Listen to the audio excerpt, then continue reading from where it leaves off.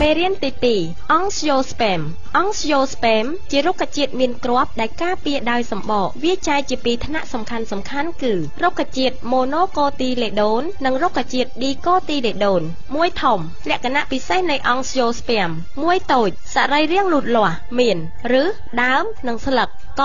ឬឬមានតួនាទីចងភ្ជាប់រុក្ខជាតិទៅនឹងដី ស្រូបទឹកនិងអំបិលខនិជពីដីទៅឲ្យដើមនិងស្លឹកហើយក៏មាននាទីស្តុកអាហារផងដែរខ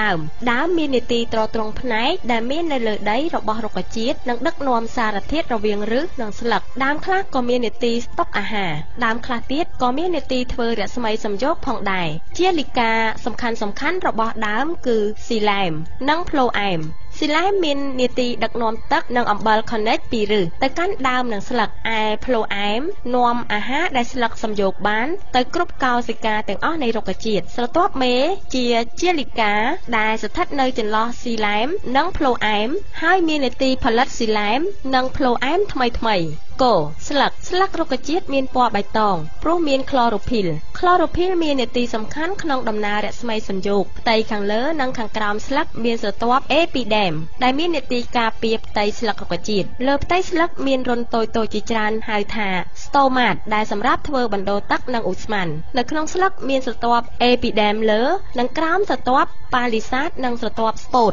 2សរីរាង្គបន្តពូជគ្រប់អង្គសូស្ពែមសុទ្ធតែបន្តពូជដោយផ្កាផ្កាជាសរីរាង្គភេទរបស់រុក្ខជាតិវាមាននីតិបង្កើតកោសិកាបន្តពូជញីឈ្មោលហើយធ្វើឲ្យមានការបង្កកំណើតផ្កាមានទំហំទ្រង់ទ្រាយពណ៌ក្លិននិងចំនួនស្រទាប់ផ្កាខុសគ្នាពីផ្កាមួយទៅផ្កាមួយប្រភេទទៀតផ្នែកផ្សេងផ្សេងរបស់ផ្កាមាន ត្របកស្រទាប់កញ្ចុងកែសរឈ្មោលនិងកញ្ចុងកែសរញី កញ្ចុងកែសរឈ្មោលមាន2ផ្នែកផ្នែកទី1ជាសរសៃឆ្មាឆ្មាហៅថាតងកែសរឈ្មោលផ្នែកទី2ជាថង់ស្ថិតនៅខាងចុងតងកែសរឈ្មោលហៅថាផ្លោកលំអងផលិតក្របលំអងកញ្ចុងកែសរញីមាន3ផ្នែកផ្នែកទី1ជាផ្នែកកំពូលនៃកញ្ចុងកែសរញីហៅថា stigmat ផ្នែកទី2ជើងទម្ររបស់ stigmat គឺកែសរញីផ្នែកទី3ផ្នែកបាតនៃកញ្ចុងកែសរញីគឺ ovar ផលិត oval 3ដំណើរលំអង ជាការផ្ទេរគ្រាប់លំអង ពីផ្លោកលំអងទៅស្តិចម៉ាតដំណើរលំអងមាន2យ៉ាង1ស្វ័យដំណើរលំអង ស្វ័យដំណើរលំអង ស្មើស្វ័យបង្កកំណើតស្មើដំណើរលំអងឯងជាការផ្ទេរគ្រាប់លំអង ពីផ្លោកលំអងទៅស្តិចម៉ាតនៃផ្កាតែមួយ2 ដំណើរលំអងកាត់ស្មើការបង្កកំណើតកាត់ជាការផ្ទេរគ្រាប់លំអងរបស់ផ្កានៃរុក្ខជាតិមួយទៅលើស្តិចម៉ាតរបស់ផ្កានៃរុក្ខជាតិមួយផ្សេងទៀតដំណើរលំអងកាត់ប្រព្រឹត្តឡើងដោយសារទឹកខ្យល់បាក់សីមនុស្សប្រជៀវជ្រឹងឃ្មុំមេអំបៅដំណើរលំអងសបនិមិត្តកើតឡើងដោយសារមនុស្សជាអ្នកបញ្ជូនគ្រាប់លំអងពីរុក្ខជាតិមួយទៅរុក្ខជាតិមួយទៀតពីធំការបន្តពូជរបស់អង់សូស្ពែមមួយតូចកំណរគ្រាប់លំអងកំណរមីក្រូស្ពរប្រព្រឹត្តទៅក្នុងផ្លោកលំអងនៃកេសរឈ្មោលកោសិកាមេនីមួយនីមួយ 2n ចែកខ្លួនតាមមេយ៉ូផ្ដល់ស្ពរអាផ្លូអ៊ីត 4n ស្ពរនីមួយៗចែកខ្លួនបន្តតាមមីតូសមួយដង ហើយលូតលាស់ជាគ្រាប់លំអង គ្រាប់លំអងនីមួយៗត្រូវមានណយយោ2គឺណយយោលូតលាស់និងណយយោបន្តពូជគ្រាប់លំអងនេះគឺជាកាមេតូភីតឈ្មោលពេលគ្រាប់លំអងនេះទុំផ្លោកលំអងផ្ទុះហើយបញ្ចេញគ្រាប់លំអងទៅក្នុងខ្យល់ពីរតូចកំណរអំព្រីយ៉ុងនិងកាម៉ែតញី Oval ស្ថិតនៅក្នុង Ovea ផ្នែកខាងលើឬក្រោមនៃ Oval នីមួយៗ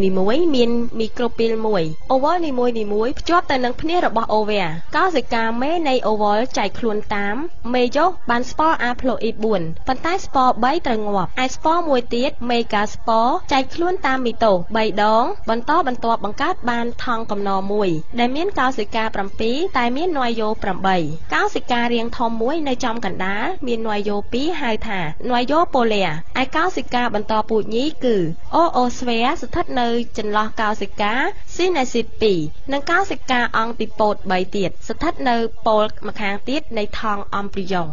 3ការបង្កកំណើតនៅពេលគ្រាប់លំអងធ្លាក់ជាប់លើស្តិចម៉ាតវាដុះពន្លកចាក់ចូលទៅក្នុងជីលីការបស់កេសរញីរហូតដល់អូវុលណយយោទី1ណយយោលូតលាស់ នៅចុងបំពង់លំអងហាក់ដូចជាអ្នកនាំដំណើរលូតលាស់នៃបំពង់លំអងហើយវានឹងរលាយបាត់ទៅវិញ នយោទី2នយោបន្តពូជចែកខ្លួនតាមមីតូសបានជា spermatozoid 2គ្មាន placell ពេលដែល spermatozoid ទាំងពីរចូលទៅក្នុងថង់កំណរ spermatozoid 1 N រលាយជាមួយ oosphere N ផ្ដល់ជា zygote diploid ដែលនឹងលូតលាស់ជាអ embryon spermatozoid មួយទៀត N រលាយជាមួយ nucleopolaire N ផ្ដល់ជា albumin triploid 3N ដូចនេះការបង្កកំណើតរបស់រុក្ខជាតិ Angiosperm មានលក្ខណៈពិសេសគឺបង្កកំណើតទ្វេ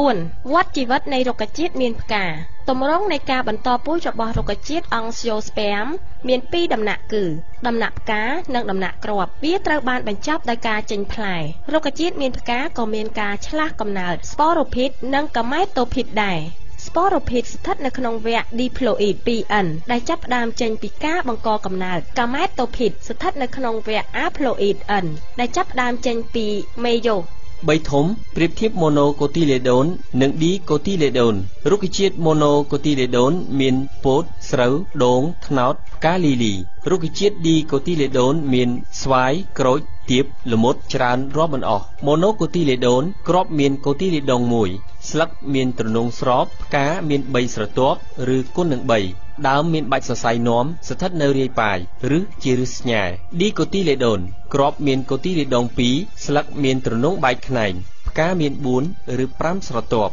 បាច់សរសៃនាំស្ថិតជារង្វង់ឬជាឫសកែវ4ធំ ផលប្រយោជន៍របស់រុក្ខជាតិមានគ្រាប់រុក្ខជាតិ Gymnosperm ជាពិសេសពួកស្រល់មានប្រយោជន៍ណាស់ក្នុងការផលិតក្រដាសធ្វើគ្រឿងសង្ហារឹមសំណង់និងអាចចំហុយចេញជាប្រេងសម្រាប់លាបផ្ទះរុក្ខជាតិ Angiosperm ជាប្រភពអាហារដ៏សំខាន់ ជាបន្លែ ផ្លែឈើគ្រាប់ធញ្ញជាតិជាប្រភពធ្វើជាសម្លៀកបំពាក់និងឱសថព្យាបាលជំងឺធ្វើជាសរសៃអំបោះកបាសជ័រកៅស៊ូយកទៅធ្វើកង់ឡាន ឬផលិតផលផ្សេងផ្សេងទៀតក្រញូង